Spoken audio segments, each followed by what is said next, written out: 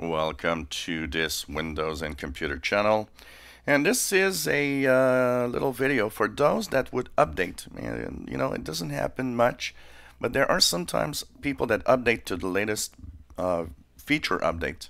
So in this case, if you update to either the October 2018 update or if you update to the May 2019 update and you seem to have lost your files, um, in, in the different folders like documents and so on, you probably didn't lose them. But the problem is, is that sometimes in some very specific cases, the files are not moved back to their original folders after an, an upgrade to a feature update.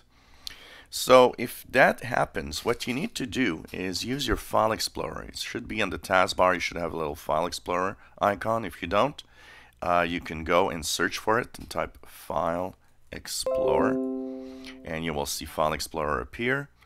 Uh, it's also available through the Start menu. You can search for the File Explorer in here. It is, I believe, in the Windows folders. Um, so it's somewhere here like accessories or let me just uh, remind myself where they are.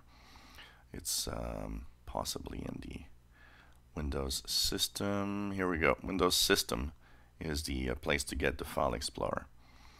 And once you're here, go to the C drive. So you'll see this PC. Make sure that you look at the C drive. You might see something called windows.old.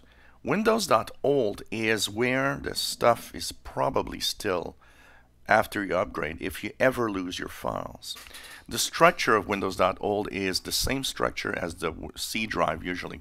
So what you'll need to do is go into a folder called users. You'll need to click your username and then you'll have your different folders show up. If it asks you for permission because it doesn't recognize the administrator, just say, yep, you want to take control of the files and folders.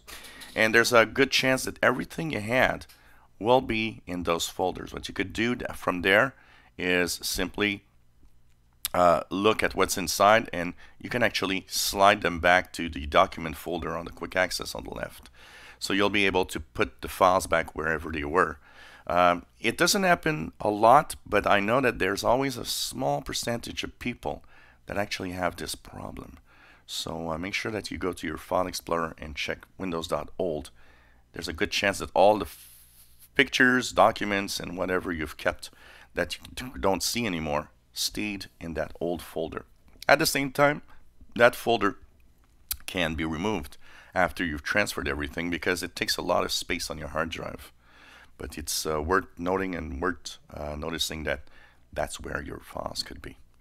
If you enjoy my videos, please subscribe, give us thumbs up. Thank you for watching.